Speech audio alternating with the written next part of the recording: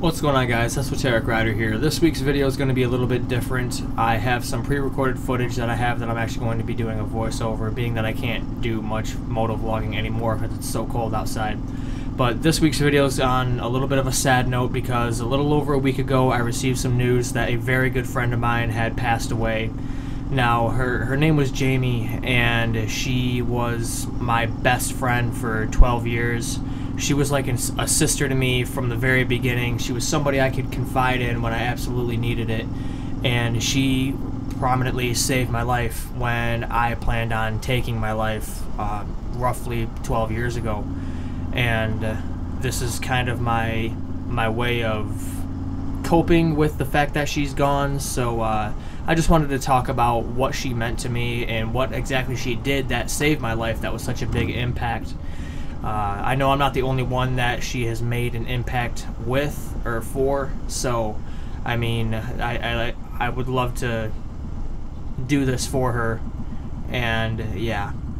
So back in 2011, uh, it's really no secret now, I was suicidal. I was bullied very hard in school for the way that I, I, I was. I was ugly.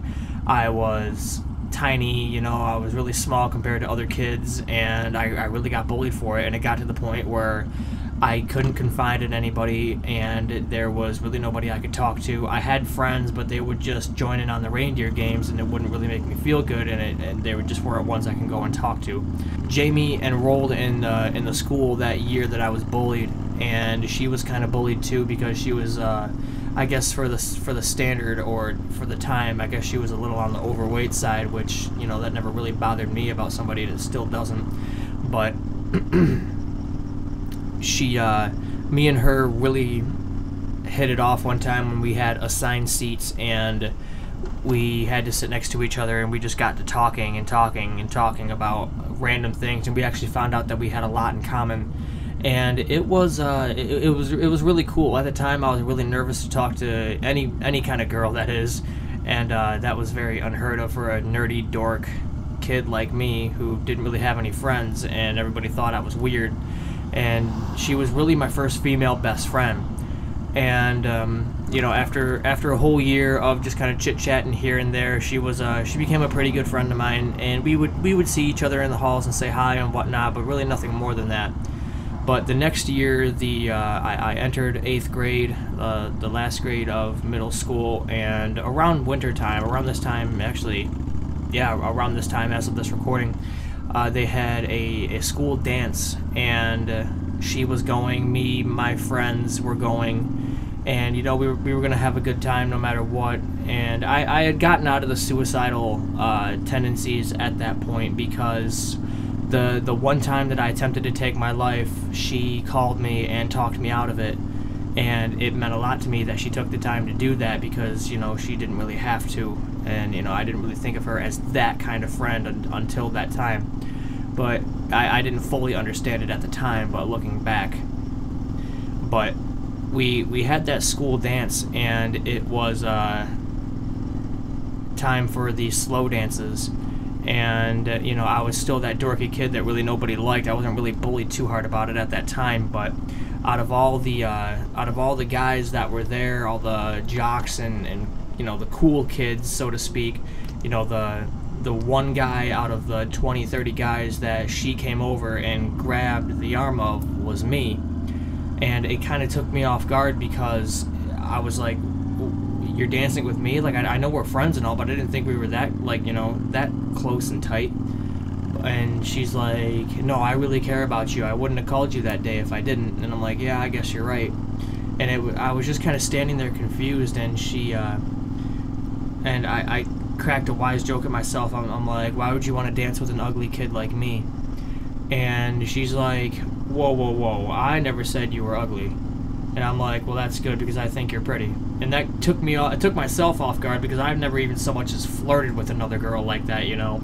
And I'll never forget the look on her face when I said that. She looked down to her right and in my left, and she she just kind of blushed and said thank you.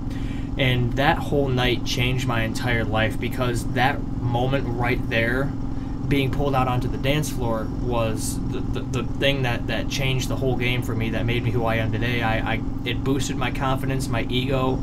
I felt better knowing that I could make friends and that I had somebody there for me when I needed it and when I didn't feel like there was. And, and she was there.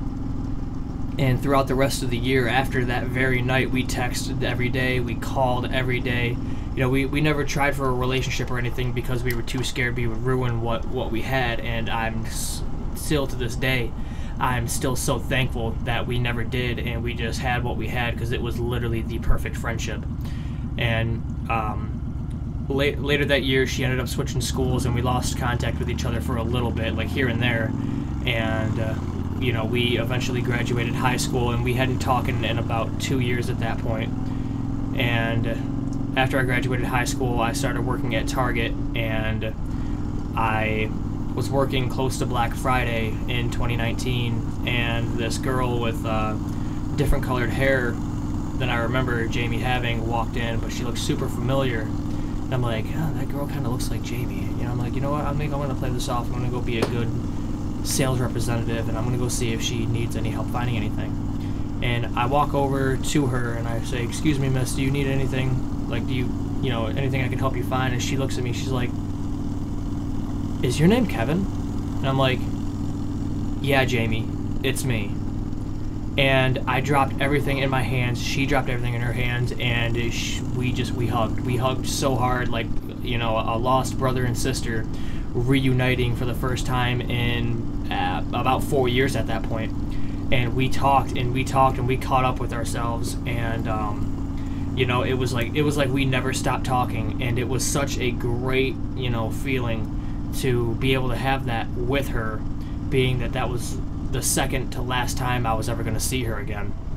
And um, a couple weeks pass, and she comes back in again, and we we make plans to hang out. And she's like, "Do you got my number?" And I said, "You know what? As a matter of fact, I think I do." And I, I, pulled up my phone and saved in my, my Google my Google account was her number that she put in my phone all the way 10, 10 11 years ago at the dance. And I'm like I never got rid of it. And it was still the same contact picture that I set that night that she sent me. And as a matter of fact I didn't even know that I still had it but it was you know saved in the Google account. And she's like, wow, I can't believe you kept it after all these years. And I'm like, yeah, me either. She's like, well, that's good because I kept yours too. I'm like, wow, that's just insane. And it was just like, we never forgot each other, even though we hadn't talked in, you know, a long time. And, um, you know, I, I told her that I'd, you know, I gotta get back to work. I'll see you around. And she's like, text me, call me, something, whatever. And uh, the funny thing is, the very last thing she said to me, she's like, she's like, call me, text me, we'll get a plan going. Hey yo. And and the funny thing is, like I know I don't really say hey yo in my videos, but those who know me personally, like you could ask Chaos or, or you know my, my brother or Rice Krispie, I start out almost every single conversation with hey yo, like Scott Hall, and I I've done that for years, and that was the the very last thing that she ever said to me. Uh, little did I know that during that time she was battling demons and she had really fallen into the wrong crowd. Out of respect for her and her family, I'm not going to uh, publicize what she was going through, even though I, I know and I I tried to help, but you know you can't help people who don't want to be helped. Not saying that she didn't want to be helped, but it was incredibly difficult to do so. But um, yeah, that was uh, the very last time we saw each other, and I would try to text her and call her, but every single time it, it, was no response. But you know that happens in life. That you know people get busy and they, they just they just can't answer the phone sometimes. Like that's okay. That I, I me personally I understand that she was a busy woman. She had a lot going on. She was in college. She had multiple jobs, making ends meet and she had a little boy to raise that she had and uh, you know that, like i said that happens i completely understood but um, about yeah, yeah, three years, three years pass, and uh, I, I get a call from one of my old friends from back in middle school that hung out with me and Jamie that she had passed away, and that was absolutely groundbreaking to me because I now feel that um, I now feel like a, a very big part of me is is gone now because she's not here anymore. And I wanted to take her on a ride and reminisce on all of those memories that we made because there was a whole bible of them, you know, and it was just it, it, it was just something you could write a book about and just be so satisfied thinking about no matter what. Like every like even miss esoteric knows the full story because i tell her i'm like this was the greatest moment of my life so far. That the time jamie saved my life is simply the greatest moment of my life so far i mean i'm only i know i'm only 24 at the time of this recording but that's a lot can happen in 24 years but yeah when you know, hearing that she passed really, really just kind of, just I, I, I don't know, I, I still can't believe it. I still can't believe that I'm not going to be able to one day bump into her and be like, hey, this is Miss Esoteric, or you know, let's go for our ride that we we talked about. And I'm not going to be able to do that, and it, it does break my heart. It does make me sad, but on the, on the contrary, she's not suffering anymore. She's not battling her demons, and uh, you know, she she did what she could. But sometimes man, that evil is so powerful, and there's just, in my opinion, she was too beautiful and too good of a soul to be on a place like this earth.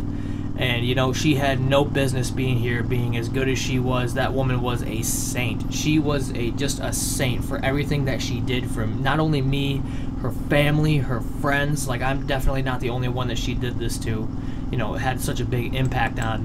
But it, it just show it just goes to show how good of a person she was, and she would just there'll there'll never be another one like her, and, and I never want one. I never want another girl to be like her because it just won't be the same. Um, I don't have any donation links. I don't have any uh, support uh, links for the family, even though I have been keeping in touch with her family uh, especially her mother. Her mother was actually a teacher at the same school that we all went to, and I've actually known her mother longer than I've known her. But uh, yeah, uh, ah man, this sucks. This sucks. Um, obviously, I'm uh, I'm gonna have to end the video on this note before it goes on too long.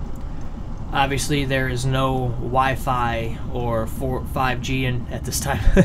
no cell service, I'll say that, in heaven. But, uh, you know, if, if, you know, Jamie, you're listening, I know you, I don't even know if you even watched my content that I, I know you saw on the Instagram because we followed each other.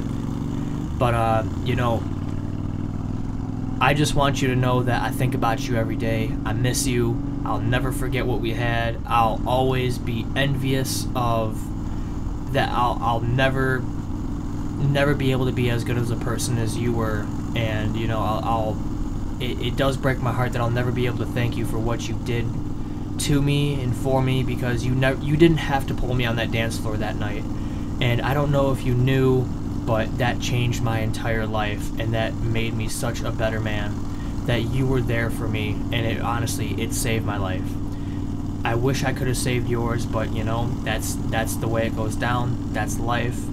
I have to I have to accept that because that's just the way it is. But Jamie, I love you. I miss you. I will see you down the road. Hey yo.